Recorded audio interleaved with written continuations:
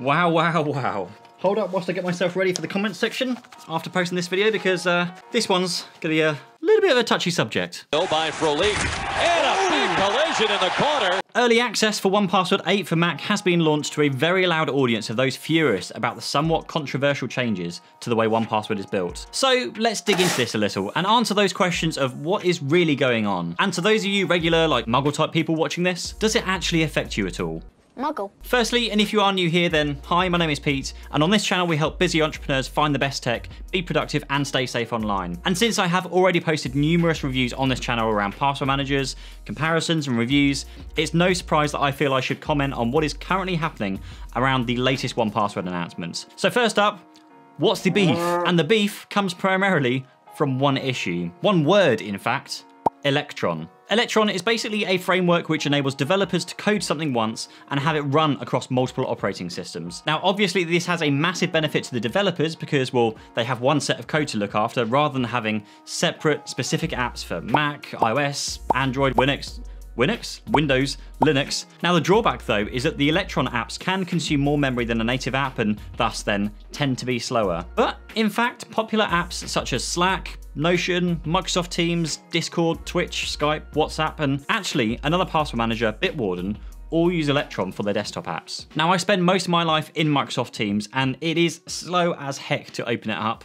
I also spend most of my life in Slack and that's actually pretty damn fast. Same with Discord, same with Bitwarden, same with Notion. Once the app is loaded, I don't perceive any noticeable slowdowns or memory hogging. So firstly, let me answer the question that everybody seems to be using as their like first argument against AgileBits, the creators of 1Password, that Electron is resource intensive and consumes far too much memory. Here I have 1Password 7 running natively on my M1 MacBook Air. It's consuming around about 104 megabytes of memory, and that's whilst I have around 12 tabs of Google Chrome running altogether. Now, over in the future 1Password 8 Electron Beta 8.2.0-44 beta, we are currently running more than double of that, of around 262 meg, and that is on my M1 Mac Mini and around like 30 something tabs open because I have a lot of tabs open on my Mac Mini. So to answer your question of does it consume more memory? Well, yeah, yes it does. Thanks for coming to my TED Talk. But you wanna know something really, really scary? Slack, an Electron app, is using around 326 meg of memory, but Microsoft Teams, 1,288 megabytes of memory. What the heck, Microsoft? That's almost as bad as like Google Chrome itself. So with that question answered, let's ask the other question that nobody I see is really asking, why are they chosen to go with Electron instead of building native apps for each operating system? And to me, it's, well, fairly obvious, because recently AgileBits, the company behind 1Password, completed its Series B round of funding that saw investors such as Punked fame Ashton Kutcher, here comes the show. But also investments from leaders from the likes of Shopify, Slack, Squarespace, Eventbrite, and so, so many more. And between them, they have raised more than $100 million. It's not more than $100 million exactly, which now gives a company valuation of $2 billion.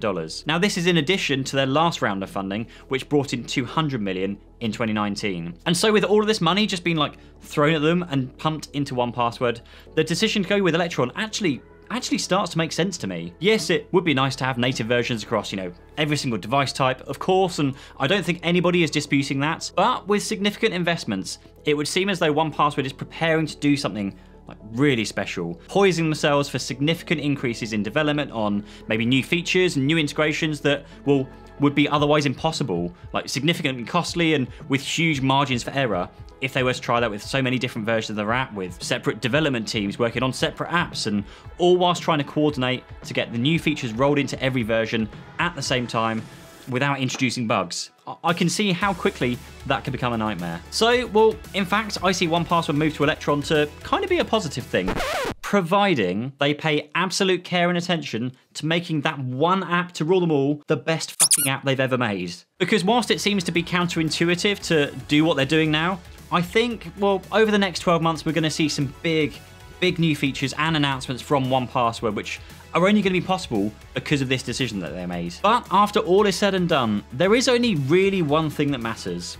And that is the question of, well, does it matter? Does it matter that the app uses more memory? And that's even if the app does ever use more memory, because, well, this is the beta. You know, they've got plenty of time to reduce memory usage in the future if they can. And the answer for the majority of you know, my audience that are watching this video Probably not. And that is because of two things. Firstly, modern operating systems at their core are designed to handle managing memory.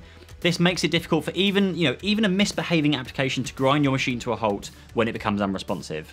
And in my experience of using the beta across, well, multiple machines now, and running my Mac Mini in particular, which runs like 20 applications at any one time, I have not experienced a single crash or even a single slowdown in this new Beta 8 software, and that's a beta software. Secondly, you have development, and development is easily what makes any app good or not good, and whether they're using Electron or not using Electron and using some other software. It is down to the 1Password development teams themselves to make a success of this, and particularly, well, given the reception they've just had to the Mac version 8, they will be razor sharp focused on making their new app a success, which works smoothly and consumes as little memory as possible. So only time will tell, but for now, go down to the link below and grab up to 50% off of 1Password because, well, I did test all of the other password managers, and legitimately, 1Password seems to be the best of what's out there. Well, currently are, unless they make a hash of like 1Password 8, and then I'll need to remake my whole password comparison video.